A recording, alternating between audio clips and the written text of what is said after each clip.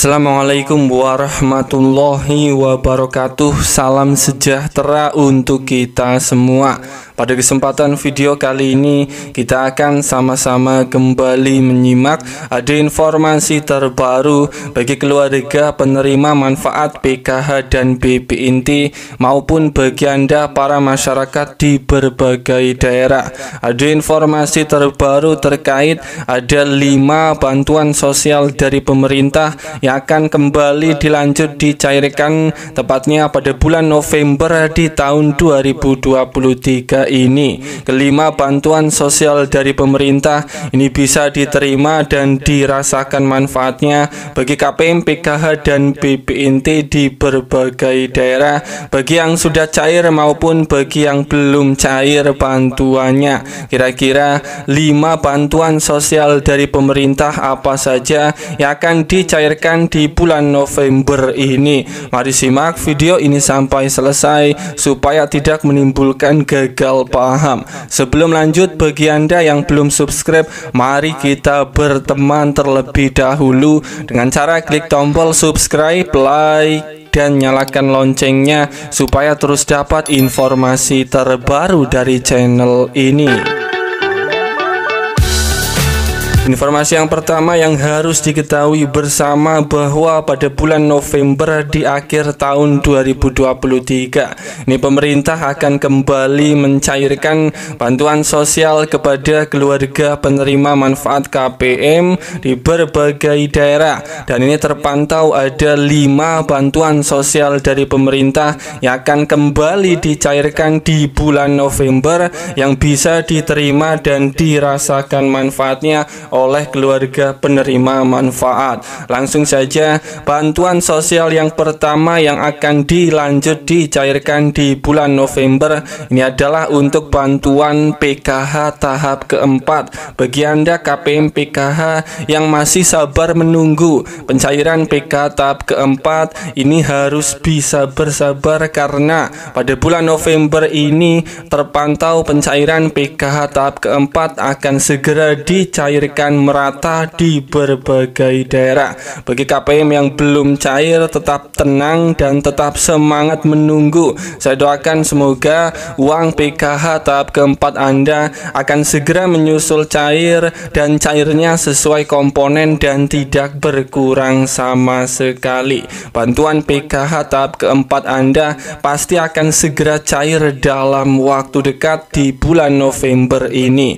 Kemudian bantuan sosial yang kedua yang akan disalurkan pada bulan November ini adalah untuk bantuan BPNT sembako untuk tahap kelima alokasi bulan September dan Oktober senilai Rp400.000 sampai saat ini di berbagai daerah status data di 6NG untuk bantuan BPNT tahap kelima ini terpantau ada yang sudah SP2D dan SPM dan ini artinya bantuan BPNT tahap kelima akan mulai dicairkan merata juga di bulan November ini. Kemudian bantuan sosial yang ketiga yang akan dicairkan pada bulan November ini adalah untuk bantuan PP Kemendikbud Ristek. Bantuan PP ini masih terus dilanjut dicairkan sampai akhir tahun 2023 sampai Desember mendatang.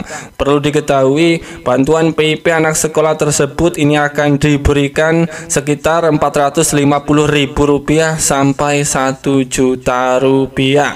Kemudian bantuan sosial yang keempat yang akan dicairkan di bulan November ini adalah untuk bantuan BLT El Nino. BLT El Nino yang dikucurkan untuk membantu keluarga yang tidak mampu di tengah kemarau panjang. Ini akan dibagikan pada bulan November hingga Desember. Ibu Sri Mulyani ini mengungkapkan kemarin Bantuan ini akan diberikan sebesar 200.000 per bulan per KPM. Dia memastikan penerima BLT El Nino akan tepat sasaran karena seluruh data telah terdaftar di Kementerian Sosial Kemensos. Menurutnya ini ada data 18,8 juta KPM khusus BPNT yang sudah tersedia yang akan diberikan bantuan BLT El Nino total 400.000 rupiah.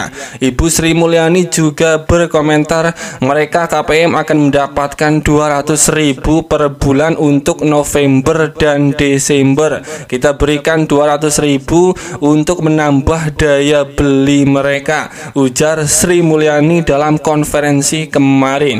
Mantan pejabat Bank Dunia ini juga berharap Menteri Sosial Tri Risma hari ini dapat mengeksekusi bantuan dengan baik sesuai dengan data yang telah tercatat di Kemensos RI. Kemensos Burisma dalam hal ini diharapkan bisa mengeksekusi bantuan langsung tunai untuk 18,8 juta KPM yang sudah ada daftar nama, alamat dan nomor akunnya kata Sri Mulyani. Selain BLT El Nino, Kementerian Keuangan juga menyiapkan dana tambahan sebesar 2,67 triliun untuk bantuan beras di bulan Desember total ada 21,3 juta KPM yang akan mendapatkan dana tambahan untuk beras bantuan beras pada bulan Desember mendatang Kemudian bantuan sosial yang terakhir yang kelima yang akan dicairkan di bulan November ini adalah untuk bantuan tambahan beras 10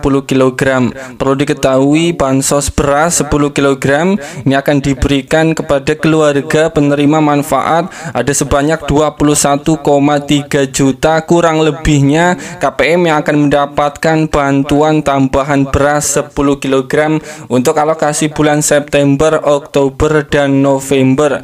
Hal ini diyakini Jokowi untuk menahan laju kenaikan harga beras dan mengamankan pasokan bagi keluarga berpenghasilan rendah. Para KPM PK dan PPNT ini juga berhak akan mendapatkan bantuan tambahan beras 10 kg yang akan dicairkan kembali pada bulan November ini. Namun hanya bagi KPM PKH dan PPNT golongan tertentu yang telah ditetapkan oleh pusat yang bersiap akan mendapatkan bantuan beras 10 kg lagi di bulan November ini. Dan itulah kelima bantuan sosial dari pemerintah yang akan kembali dilanjut dicairkan pada bulan November di akhir tahun 2023 semoga ini bermanfaat. Sampai ketemu di berita lainnya